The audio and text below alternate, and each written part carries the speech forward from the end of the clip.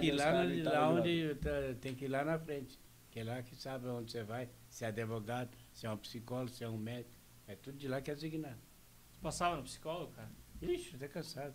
Aí. Ah, lá na, na Pedro César tinha. Todos penitenciários É. têm psicólogo. Mas quando é demais mesmo assim, meio, meio nervoso, a pessoa vê que está meio nervoso assim, é casa de custódia antigamente. Casa de custódia é como se fosse um hospital psiquiátrico, assim? É, casa de custódia, é a cadeia mais velha do Brasil. 360 presos. Mas depois fizeram o anexo no fundo, que é a segurança massa. Hum. Eu que inaugurei lá. É- que ano que foi isso aí, você lembra? Mas tem uma diferença então, entre- eu tô perguntando as datas. Tem uma diferença entre o hospital psiquiátrico e a casa de custódia, é isso? Não, a mesma coisa. Não tem nada a ver. Tem nada a ver com psiquiatria. Sério. Eu E, vejo o cara- quanto- e quantas visitas tinha da, da- da- que você ia na- no psicólogo, por exemplo? Uma vez por mês? Uma Não, vez? ali é por regra delas, né? Quer fazer, às vezes o psiquiatra que manda. Olha lá, Pedro lá, chama Pedro lá e faz o exame nele lá. Então a psicóloga vai fazer o exame dela, Ah, tá? Aqueles de sempre lá, tem o exame dela.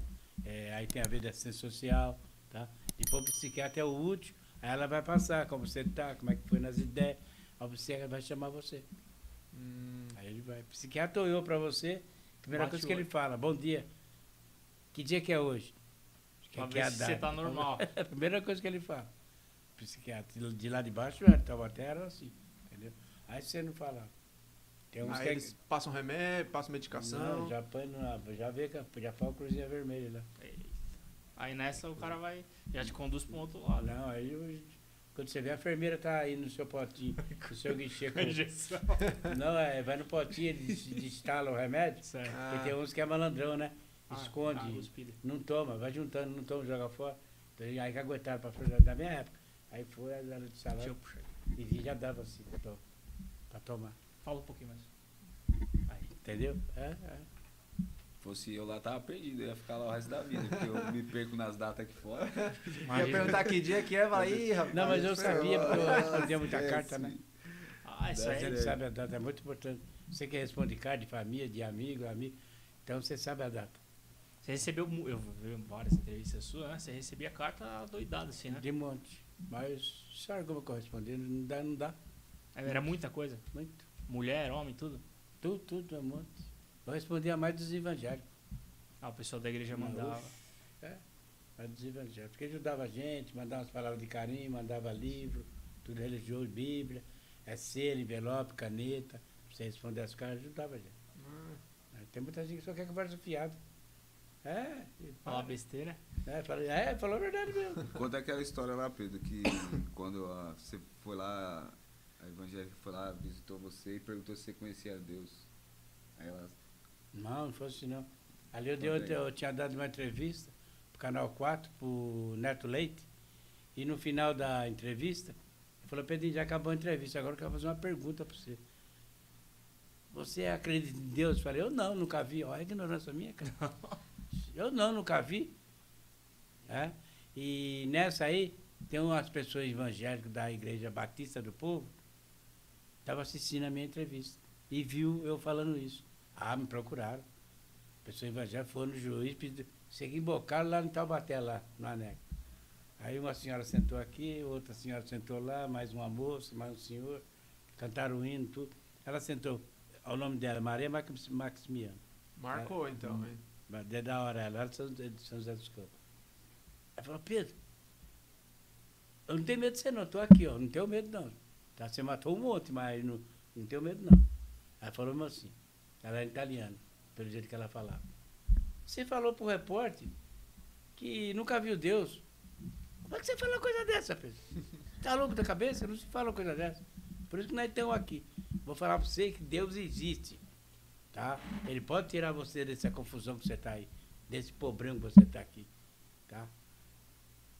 Eu falei, é, já fiquei né, meio vergonhoso, que é a primeira visita. Quebrou né? as pernas. É, ela pegou e esticou a mão assim na minha cara, você fez assim. O que, que você está sentindo aí, Pedro? Eu falei, estou sentindo um arzinho, um vento, né? Mas você não sente. Então, a mesma coisa é Deus, filho da mãe. Você não vê, mas sente. Mas não vê mais sente. Entendeu? Aí foi passando.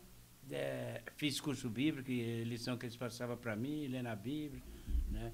Antigamente eu era o diabo no corpo, o diabo tirava a Bíblia da minha mão. E várias vezes eu tomava logo um tapa que voava, eu pegava de novo dentro da cela. E fui na luta, né?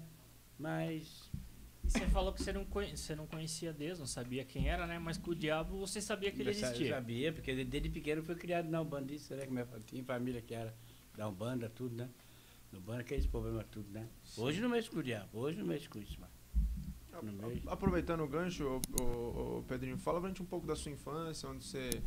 Onde foi que, que você nasceu, família. É, na infância, fui É criado... de Mogi, né? É, fui criado em Mogi das Cruzes, né?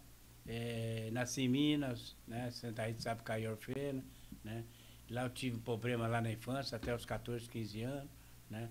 Tive lá que tirar a vida do, do prefeito, que mandou meu pai sem direito a nada, escrachando meu pai como ladrão e não era, que eu tinha certeza que eu ia com meu pai. Você tinha 14 anos, sabe? Tinha 14 para 15 anos, né?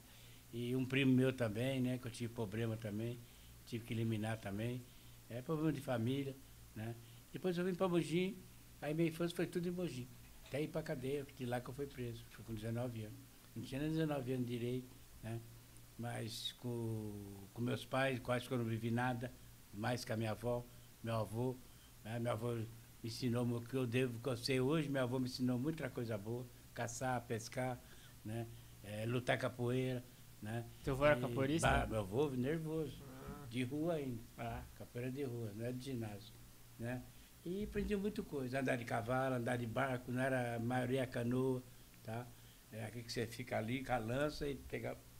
Se você pegasse um peixe e fisgasse, pô, você era afiado pra caramba. Água clarinha, só deixa a canoa parada. Mas não de flecha. Não de flecha. caramba. Não de flecha. Pescou, pescava e caçava. É, e teu avô que é, teu meu avô. tudo me ensinou, como é que mexe com uma arma, uma espingarda, né? Como é que joga uma faca de longe, né? Tudo meu avô me ensinou. E nesse meio tempo, seus pais ficaram em Minas e teu avô é de, de Mogi, só pra Não, depois vieram todo mundo para Mogi. Certo. Vieram todo Família mundo inteira, então, devagarinho, vieram, né? Vieram tudo devagarinho, tá? mas tem um parente lá. Tem um parente lá, mas a maioria tá tudo Mogi. Mais da metade das coisas é parente meu. E hoje você tem contato com a, com a, com a família? É, eu É. moro com a irmã minha. Ah, mora com a sua irmã. Ela é evangélica, da Igreja das Graças. Ah, Ela é uma, minha irmã é uma santa. É Eu tenho, eu tenho várias irmãs, mas a que eu mais que eu me apego é ela. né? Mora, você mora com É, ela hoje? é, é, moro com ela, moro com a minha irmã. Até dar uma melhoradinha, né? Claro. Dar uma melhoradinha, que eu vim, de- eu vim de lá de, da clínica, né? Então fui embora de lá, então. E eu ficava os dias com ela lá. Até dar uma melhorada. Ótimo. E o Pablo é de lá também? Pablo de Mogi também. Também, É. também. Em Mogi das Cruzes, né? Minha mãe se mudou pra lá, nasci no interior, né? No interior da cidade. E aí depois minha mãe se mudou pra lá. É evangélica a mãe dele também. Minha mãe é evangélica. Inclusive ela vai estar assistindo, né? Um abraço, mãe. Deus Manda um abraço pra ela aí. Como que ela chama? Joselma. Manda um abraço pra dona Que Joselma. é, a- apoia nós pra caramba. Somente assim nossos. Vai assistir depois, né?